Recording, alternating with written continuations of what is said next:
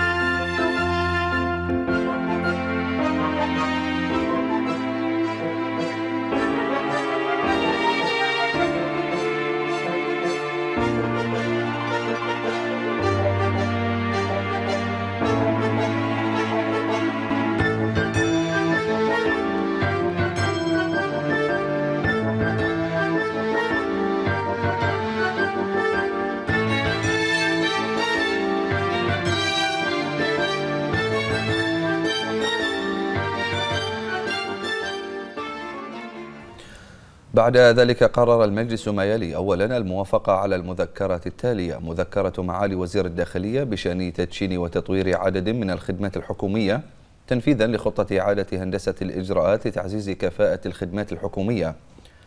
بعدها استعرض المجلس مذكرة اللجنة الوزارية للشؤون المالية والاقتصادية والتوازن المالي بشأن تطور أداء المؤشرات الاقتصادية للربع الثالث من العام 2022 والتي أظهرت تسجيل المؤشرات الاقتصادية مستويات إيجابية مرتفعة. الأمر الذي يعكس ما تم بذله من جهود كبيرة وما اتسم به العمل من روح الفريق الواحد في تنفيذ أولويات وبرامج التنمية الاقتصادية ومنها خطة التعافي الاقتصادي وبرنامج التوازن المالي. كما استعرض المجلس مذكرة سعادة وزير شؤون مجلس الوزراء بشأن متابعة أداء الجهات الحكومية في أنظمة سجلات وتواصل وبنايات للفترة من يوليو لغاية أكتوبر 2022 بما يسهم في تحقيق مستويات أعلى من الكفاءة والإنتاجية وتعزيز جودة الخدمة الحكومية المقدمة للمواطنين ودعم النشاط التجاري والاستثماري في مملكة البحرين. وقد أظهرت المذكرة مستويات متطورة من الأداء في نظام تواصل حيث تعاملت 52 جهة حكومية مع أكثر من 58 ألف مقترح واستفسار وشكوى خلال الفترة من يوليو لغاية أكتوبر 2022 تم الالتزام فيها بعدم تجاوز الوقت المحدد للرد بنسبة 99.5%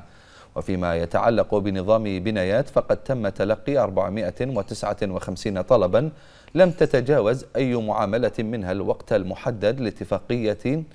مستوى الخدمة.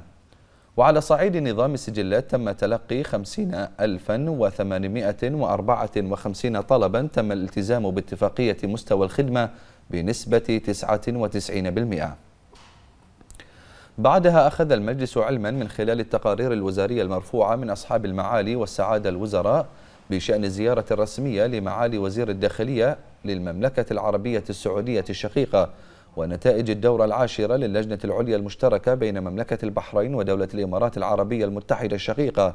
والمشاركة في الاجتماع الثالث والعشرين للجنة الوزارية المكلفة بمتابعة تنفيذ القرارات ذات العلاقة بالعمل الخليجي المشترك